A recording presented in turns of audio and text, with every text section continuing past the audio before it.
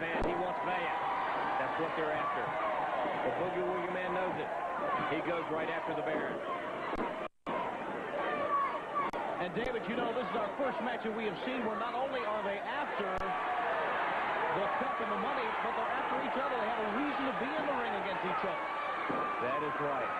Who's going to survive the first round? You saw Whatley outside. Paul Jones is there. He's got his whole army. Look at him. Choking. The Baron goes right after Van. Again, goes for the eyes. Pounding away on the back of the neck now outside waiting to get in. Is the Raging Bull. Bayon takes him, makes that tag to the Bull. Bull comes in. They double up on him. They've got the ball. Look out. Boy, are they the masters at hurting somebody, and I mean the Barbarian. His endurance really showing in this match. He missed.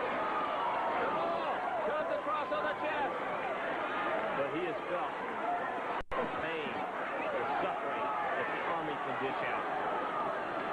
The Barbarian looks him right in the head. Now into the back. Van is rested. He's ready. He really he wants to get in. He wants to get in. Here he comes. You know, as the Baron comes in, you can tell that Paul Jones, as he seemed well prepared, there's Paul Jones right at the bottom of the screen. Come on. Come on, Manny. Make that tag. He does. Here comes the Boogie Woogie Man. He fires away on both men. Captain, he's dancing. He's ready. He goes right after the Army. Again, into the Baron, and he's chucking and jiving. As only the Boogie Man can do. Once again in the rope. Sleeper, David. He's got it hooked. Look out. Here comes the Barbarian. Barbarian pounds away in the back. Now Manny's in there, too. All four men. They jump on. Now they're on Manny. They throw Manny out.